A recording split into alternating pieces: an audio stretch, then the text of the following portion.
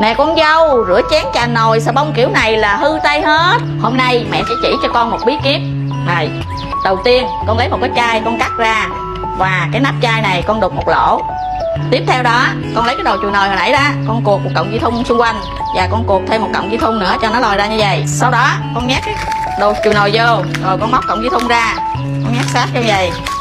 Rồi, con lấy cái nắp cái đục cái lỗ nè con lấy cái cọng dây thun ra con xuyên qua cái lỗ rồi con đậy nắp lại. Rồi, khi con trà nồi con sẽ móc cọng dây thun vô và con cầm trên cái nắp chai như vậy. Con trà kiểu này nè xà bông nó sẽ không ăn tay con. Khi mà trà xong á con sẽ móc lên đây. Xong máy đẹp máy đẹp.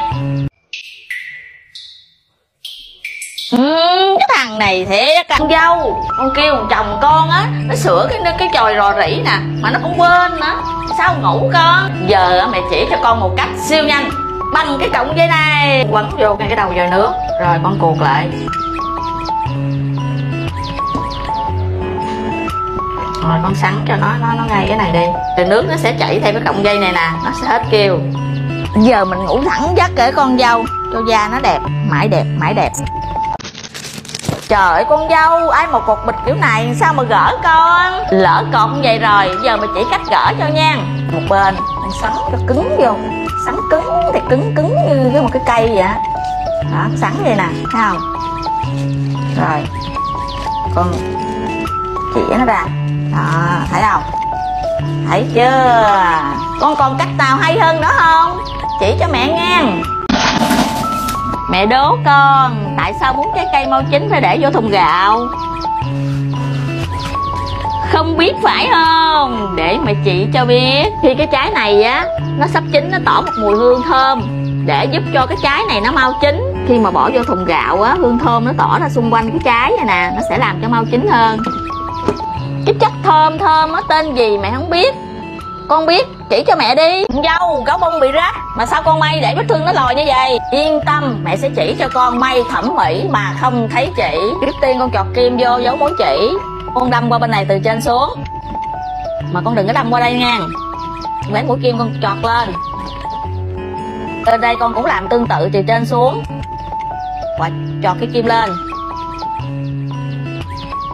Rồi tiếp tục làm. Y như vậy cái kiểu này nè, con có thể may áo rách nè, quần thủng nè. Được một đoạn con siết lại rồi bắt đầu con may tiếp tục nữa. Siết lại. Xong. Con thấy cách mẹ làm sao? Con còn cách nào hay hơn nó không? Chỉ cho mẹ nha. Con dâu, suối mẹ sỏ cộng chỉ chà chà chà chà bằng cái tay này. Khó quá à mẹ làm đâu có được đâu. Mẹ coi trên mạng có cách này, nhanh hơn. Đặt sợi chỉ lên lông bằng chải, lấy cái lỗ kim ấn nhẹ lên cộng chỉ. Phần dư nó lòi lên rồi con rút ra cách này á, con chài tinh bằng chải lông bằng á, còn nhanh nữa. Giờ mày xỏ kim, không kêu con nữa đâu. Cách này, con cho mẹ mấy nút vậy? Trời ơi, con dâu, chưa tết mà mập thù lù, đeo chiếc nhẫn vậy sao lấy ra? Trời ơi, cứng nhắc luôn. Yên tâm, để mẹ cứu con. Rồi chỉ vô lỗ. Con sọt cái đít kim vô chiếc nhẫn. Rồi con rút cọng chỉ ra. Con giữ phía sau một đoạn ngắn và phía trước một đoạn dài. Con giữ cọng chỉ này cho mẹ coi. Cọng này con quấn chặt vô sát chiếc nhẫn quấn sát chỗ bập bập chiếc thịt luôn. Rồi tới đây con dán cọng chỉ cố định lại.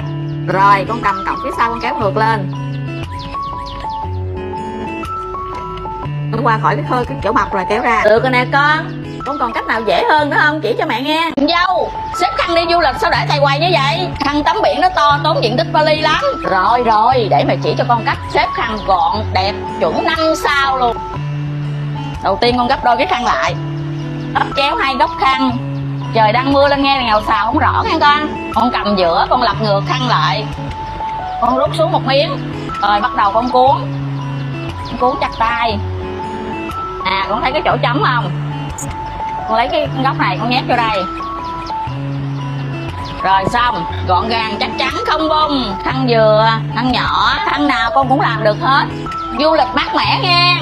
Mà con tính tắm biển nào vậy? Dâu để con ngủ kiểu này nó lăn té xuống giường sao? Tập trung để mẹ chỉ cách cho con quấn khăn cho bé ngủ không giật mình. Ách một mền mỏng con bung ra kéo lên. Một sợi dài con phủ xuống cho bé vào.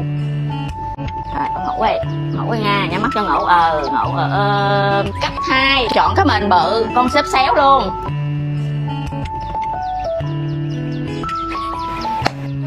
Đi lên đây ngồi. Được cuộc sợi bự con quấn lại với mẹ vậy nè. Cho bé vào. Khăn dằn bụng cho bé. Con dâu, rỡ răng mũi gì gãy hết trơn rồi nè. Yên tâm, mẹ sẽ chỉ cho con cách tách hai khoanh nhăn mũi này. Nhưng mà phải biết sao trẻ nha. Con chỉ cần nhét lá bài vào. Xoáy lần lần vào trong tới cuối cùng là xong. Nếu mà con không có lá bài thì con dùng thẻ ngân hàng cũng được nhưng mà nó hơi dày, con phải làm chậm chậm nha. Xong. Quá dễ. Con cho mẹ mấy nút con trâu. Đứa nào ăn salad mà để kiểu này. Con định lấy cọng dây thun cuột lại chứ gì? Thôi, để mẹ chỉ cắt cuột cho khỏi cần dây thun. Con gấp chéo hai bên. Giữ giữa. Rồi, bẻ cái đầu này xuống. Con xếp. Rồi, con nắm hai cái này. Con bẻ ngược lại. Xong. Quá dễ dàng. Ngoài ra, con còn cuột bịch ngũ cốc bịch kẹo. Con còn biết cách nào nhanh hơn nữa không? Chỉ cho mẹ nghe. Con dâu, sống xô đuổi đi. Để lộn xộn à. Yên tâm. Với kinh nghiệm phục vụ nhà hàng, mẹ sẽ chỉ cho con cách so đũa siêu nhanh, chuẩn khoa học. Cơm đũa để lên thằng khay. Tán đều ra, dùng một chiếc đũa đẩy nhẹ lên. Hết hồn chưa? Gom phần trên. Lấy phần dưới.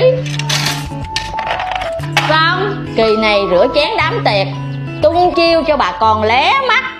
Có thằng chồng à đi hoài.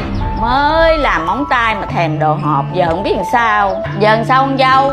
Lấy cho mẹ một cái muỗng cắn muỗng con thọt vào thẳng vô xoay ngược lại gập xuống ấn ngón cái vô muỗng bẻ ngược lên. Ê, nhẹ nhàng không có bị hư móng tay. Ủa mình cần chồng nó không ta?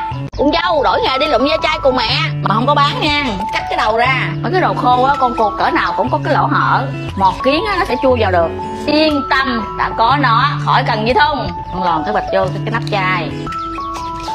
Con kéo nó xuống. Con kéo này cho nó đều nhau. Rồi, con đậy nắp lại. Còn yến mạch, lẽ mỗi lần ăn, mỗi lần mở, mỗi lần cục với thông phiền ghê. Muốn ăn thì con mở nắp ra. Đổ ra nè xong rồi thì con đóng nắp lại bảo quản. Khách có mọt nào dám vô. Đây cách bảo quản những hạt ngũ cốc như thế này vừa an toàn. Vừa bảo vệ môi trường. Theo con với cách này mẹ xứng đáng được bao nhiêu nút con dâu ơi dạo này sao căng quá vậy? Gần nhà mẹ hai ba đứa bị sốt xuất huyết luôn. Rồi con đốt nhang mũi kiểu này làm sao giết hết được cả phòng? Yên tâm mẹ mới học được trên mạng diệt mũi hay lắm. Chỉ liền chỉ liền. Con cắt một cái hộp con lấy cái dít này nè con hơi lửa cho thật nóng rồi con khoan một cái lỗ. Cái đồ để đốt khoanh nhang mũi nè con để vô đây. Con gắn khoanh nhang mũi vô giờ con để nó vô đây nhưng mà cái lỗ nó bự quá, con bấm băng keo thêm nha. Giờ con bấm quạt cho nó quay. Rồi phía sau á hút khói nó tỏ hết cái phòng luôn, là mũi nó sẽ bay hết. Với cách này á, khói nó tỏ ra những ngõ ngách mà mũi nó trốn á, nó sẽ bay ra hết. Và hiệu quả rất là nhanh chóng.